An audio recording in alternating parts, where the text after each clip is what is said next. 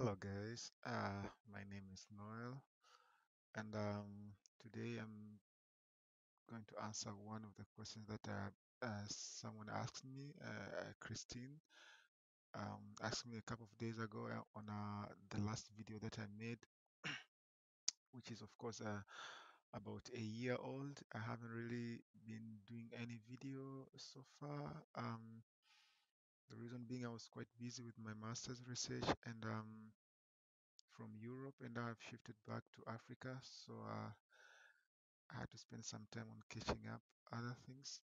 Uh, so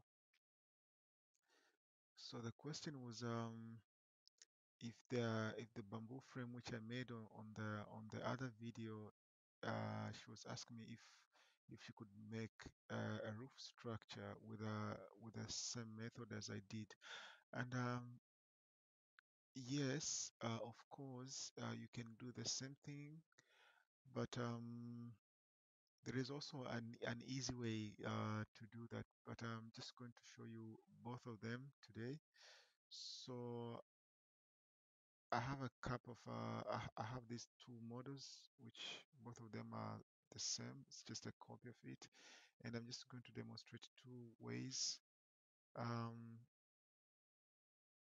on on these two models. Uh, so the first one would be, of course, the uh, using the the curtain preset patterns, which are already uh, preset within uh, Revit itself. And uh, what I'm going to do now, right now, is that uh, I've already created a frame for this. Um, is this one and uh, if you have if you have no idea on how I made it uh, you can refer to my previous video. Um, this video making of bamboo frame and uh, on it you'll find uh, I have already explained on how you can make a frame like this one. So I'm just going to load this family uh, onto family one. In here and uh, since uh, as you might have noticed that uh, I used um, a pattern family of rectangles. So um, what I'm going to do now is that um, I'll be just going to the presets and then on the rectangle then here I have my family 2 so immediately when I click this one up uh, Revit will automatically load it up and then there you have it. So uh, this could be the first method. And if you assume that the top surface is actually uh, a roof member this could actually uh, work. So it's a it's, it's, it's, it's a very easy um, it's a very easy method and uh, it's very straightforward. So um, and uh, I would also say the advantage of this one is that um, you have an ability to play with um with the actual with the actual patterns. So for instance if your truss if your roof uh, truss is way more complicated you have already these preset tools which you can use and you can uh, you can make a, a, your roof as complicated as you can. And uh, I'm just going to load all these uh, two um, masses to my project Okay, so we have already loaded our models into our project.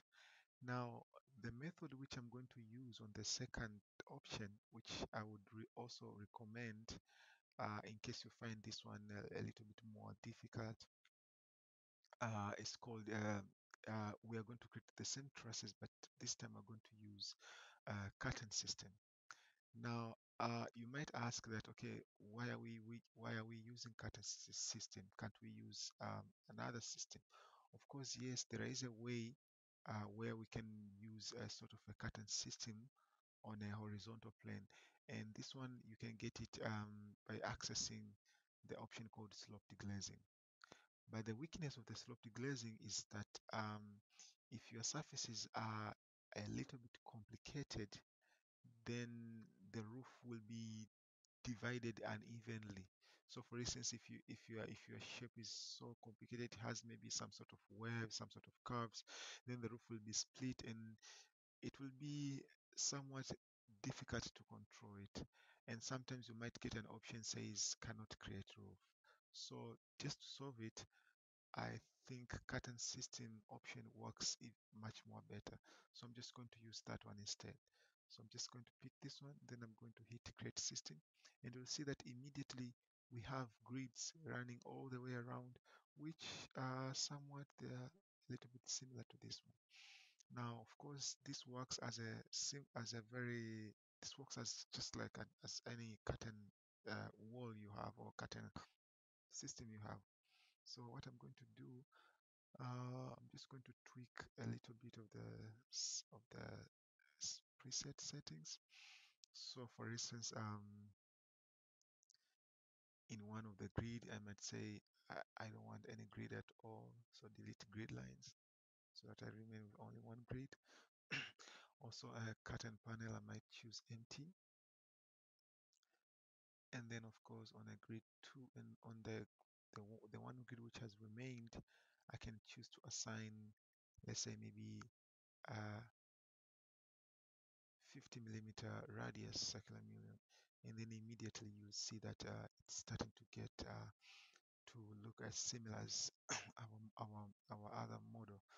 You can also try to um, control the distance and this is you can really see the the the potential of using this method over this one that you can actually control the span within your project you don't have to go back to conceptual massing and you don't have to worry about the size because sometimes masses they produce quite a huge size and um so i'm just going to change uh real the view to realistic so that at least we can see the uh, materials First of all, I'm going to change the radius to 75 so that it's at least 150, something which I'm used to. Going to name this material as bamboo. And then I will load, I will load um, a preset material. Oh, sorry, I, I, I load a, a custom image texture file just gonna go to edit and then I will um, change the dimension. First, I'm going to unlink this one so that it doesn't change proportionally. And I'm going to assign this one to, um, say, 4,000. This one maybe to 150.